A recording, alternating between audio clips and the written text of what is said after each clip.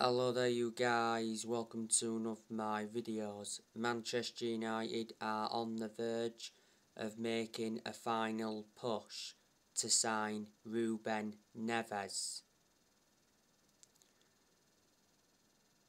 Erik Ten Hag tells Manchester United to beat Barcelona and Arsenal to Ruben Neves. Man United are ready to make a £50 million bid for Ruben Neves. Neves is a midfielder. He's at Wolves. He's been at Wolves for around five years. He's got a contract with Wolves until 2024. He's played over 200 games for Wolves in all competitions. Wolves got him from Porto. They paid around 15.8 million. Uh, let me put into the equation that Wolves lost Matt Doherty and they also lost Diego Jota. Now, I want to give you some news on Frenkie de Jong. So, according to Oriol Domenech, Manchester United agree a fee with Barcelona for Frenkie de Jong.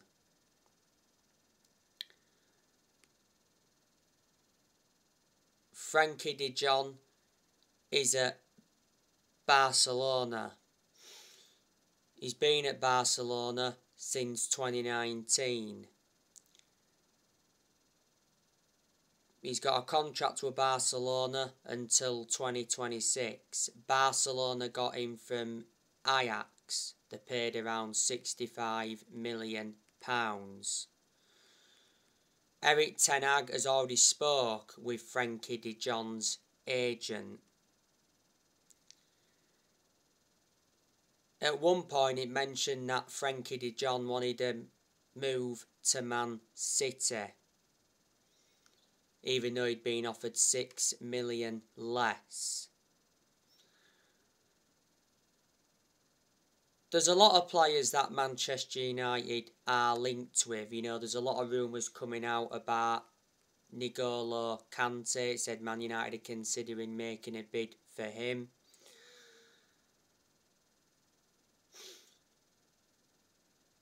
Erik Ten Hag's also interested in Antony. He's been interested in Lisandro Martinez. We've been heavily linked with Jurrien Timber. Uh, we've been heavily linked with Declan Rice from West Ham. We've been tentatively linked with Ousmane Dembele. So there you go.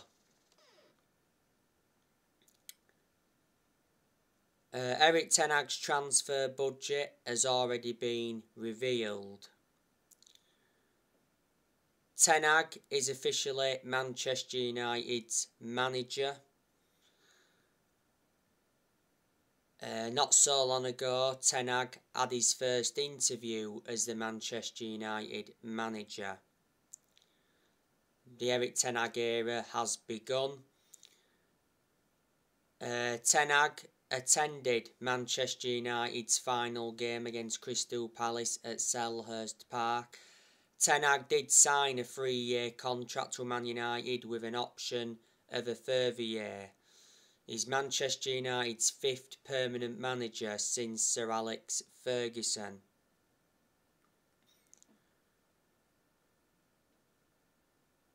Uh, don't forget, Steve McClaren and Mitchell van der Gaag joined Ten Hag at Manchester United. Uh, Ten Hag is going to get rid of a lot of players this summer. He said 10 players are set to leave Manchester United.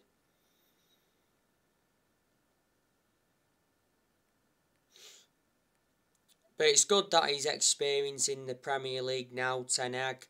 Hopefully at Man United he can replicate what he did at Ajax. You've got to admire the work he did at Ajax. At Ajax, he developed the young players well.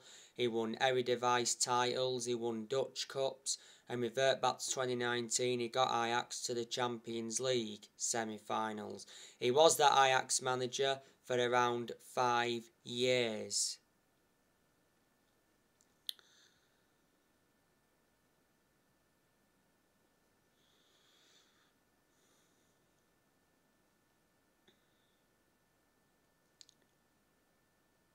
Uh, Ralf Rangnick. He was Manchester United's interim manager for around four or five months. Revert back to earlier on this year, it got officially announced that Ralf Rangnick got appointed in as the new manager of Austria. Rangnick signed a two year deal. But despite that, he said he would continue at Manchester United in a consultancy role until 2024. Ralf Rangnick did enjoy one transfer window as Man United's interim manager. Unfortunately, he didn't get backed in this year's January transfer window. Revert back to earlier on this year, Rangnick did make changes because he recommended Euan Sharping as an assistant coach and analyst. He also recommended Chris Armisen as an assistant coach and he recommended Saz Chalenzin as a sports psychologist. Before uh, Ralf Rangnick was the head of sports and development at Lokomotiv Moscow. As things stand, Manchester United have not won a trophy for around five years. That's nowhere near good enough to our standards. Uh, Man United have only won four trophies in the last 10 years. You know, we won three trophies under Jose Mourinho. That was the Europa League, the EFL Cup, and the Community Shield. And we won the FA Cup under Louis Van Gaal. The last time Man United won the Premier League was back in 2013 in the last 10 years or so, Man United have spent over £1 billion.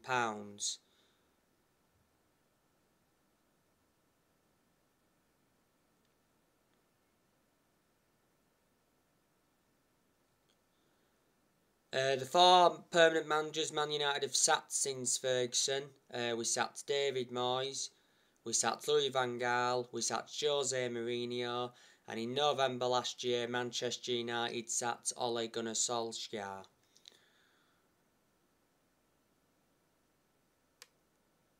Uh, like I say, there's still rumours coming out about Old Trafford getting demolished. You know, it said Man United could, you know, upgrade the stadium. But Man United have played in the same stadium for 112 years. You know, Old Trafford is very old, but it's an static stadium. It's the second biggest stadium in England. You know, it's got a capacity of around 76,000. Uh, like I say, I hate the way the football club has been run for a long time. The Glazers, we've got to get them out of the club because they've been one of the biggest issues at the club for a long time. You know, a lot of United fans have been protesting against the Glazers. And like I said, the protesting will persist until the Glazers are out of the club.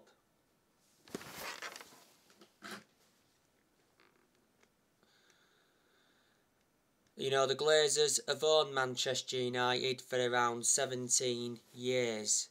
They bought the club for 500 million back in 2005. Earlier on this year, it got officially announced that Matt Judge resigned. Matt Judge will not play a role in the summer transfer window. Matt Judge was at Manchester United for around eight years.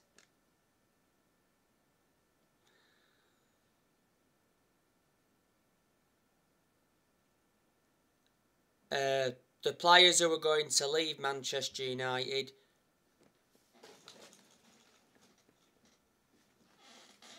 Um, Dean Henderson, I think he's on his way out of the club. Um, I heard that Newcastle could be signing him. Dean Henderson is our second choice keeper, doesn't really get in goal. The season just gone, he only made three appearances. Uh, Tom Heaton, he also needs to leave. You know, Tom Heaton is our third choice goalkeeper. He's a backup. Man United got Tom Heaton on a free transfer from Aston Villa.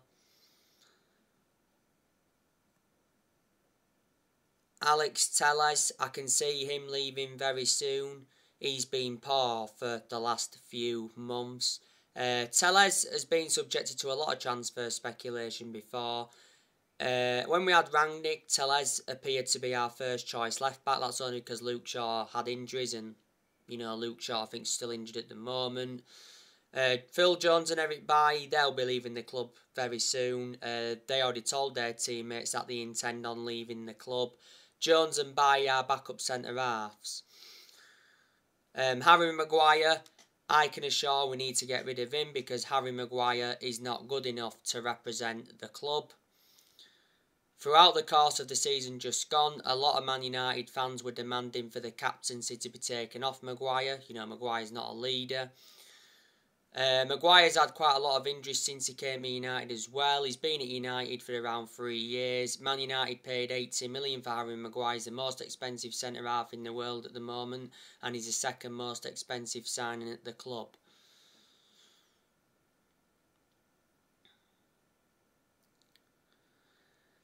Aaron Wan-Bissaka, um, I can see him leaving very soon. Uh, prior to the final game against Palace, it said Aaron Wan-Bissaka will be allowed to leave Manchester United this summer. I heard that he could be making a return to Crystal Palace. Um, he said as well that Atletico Madrid want him on loan. Aaron Wan-Bissaka has enjoyed three full seasons at Man United. I think he can be very good defensively, but the attacking side of his game is not so good. Man United got on Wan-Bissaka in a deal worth 50 million. We paid 45 million up front and there was 5 million in add-ons. Diego Dalot um, he's been subjected to a lot of transfer speculation before. Um, I don't think he'll leave this summer, but I think he will leave next year. Uh, Dalot was our first choice right back under Rangnick. And to be fair, Dalot had his good games under Rangnick. Uh, Dalot's contract at the club expires next year. At one point, he had a loan spell with AC Milan. Reflecting on that, he gained some experience. Man United got Dalot from Porto. We brought him in under the Mourinho era. We paid around £19 million for him.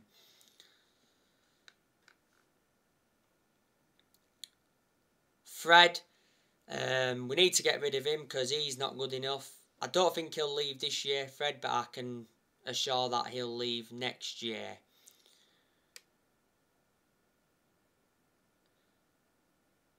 Uh, revert back to earlier on in Rangnick's tenure, you know, Fred was actually one of our best performers, but since he come back from that injury, we've struggled to get the best out of him. Uh, Man United got Fred from Shakhtar Donetsk around what three or four years ago. Got him in a deal worth fifty million pounds. Uh, Nemanja Matic, um, we know that he's leaving the club. Revert back to earlier on this year. Matic announced to believe in Man United despite having 12 months on his contract. Matic isn't one of our first choice midfielders, but despite that, he's still being given his opportunities. You know, Matic is at Man United for five years. Man United got him from Chelsea back in 2017 in a deal worth 40 million.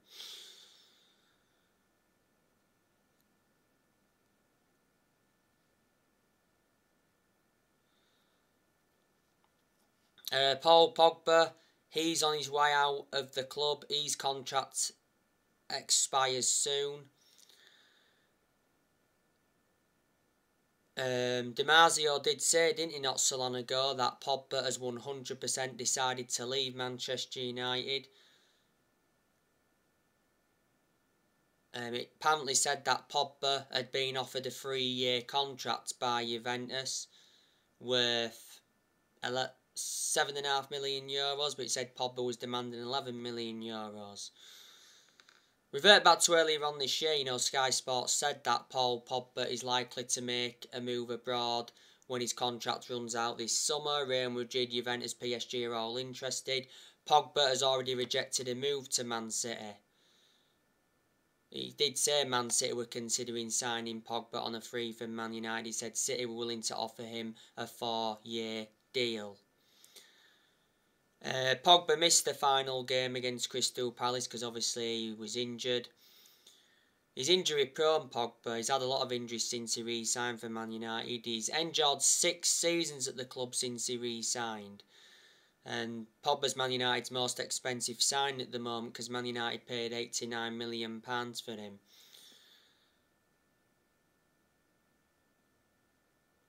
Jesse Lingard. Um, he should be leaving very soon. If he doesn't leave this year, I think he'll leave next year. West Ham um, are trying to get Lingard.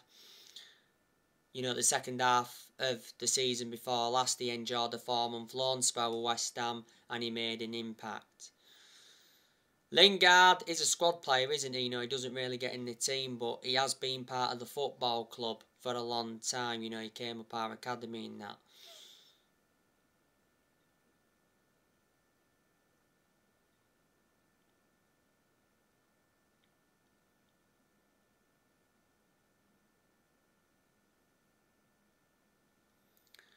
Martial, he'll go permanently. Uh, the season just gone, he was out on loan with Sevilla. Uh, Juan Mata, I can also see him leaving the club very soon. Mata's out of contract very soon. There again, uh, not so long ago, it said Juan Mata doesn't rule out staying at Manchester United. Uh, Matt has been a long serving player. You know, he's endured nine seasons at Manchester United. And he's had a good career at the club.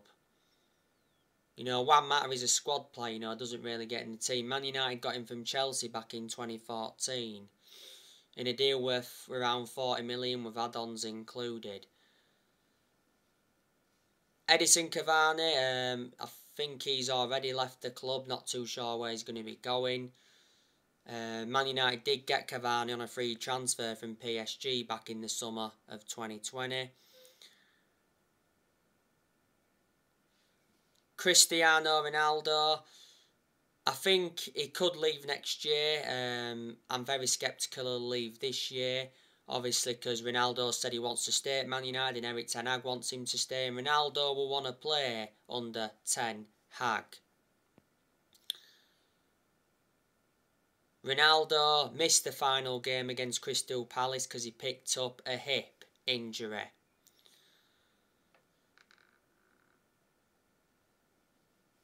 Ronaldo, Ronaldo's contract at Manchester United expires next year. There's an option of a further year. He's the highest earner at Man United at the moment. He earns £480,000 a week. Uh, Man United re-signed Ronaldo from Juventus in the summer of last year. Man United paid around 12.8 up front. There was add-ons included.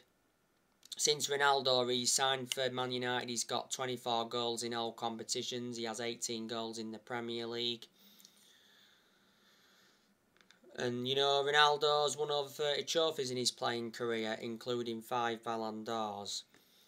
Uh, next year, you know, Marcus Rashford could leave the club. Throughout the course of the season just gone, Marcus Rashford was subjected to a lot of transfer speculation. Uh, Rashford missed the final game against Crystal Palace because he was out with illness. But like I've said time and time again before, Rashford has not been the same player since he had that operation on his shoulder, you know. But uh, Marcus Rashford wants to stay at Manchester United. He's already confirmed that.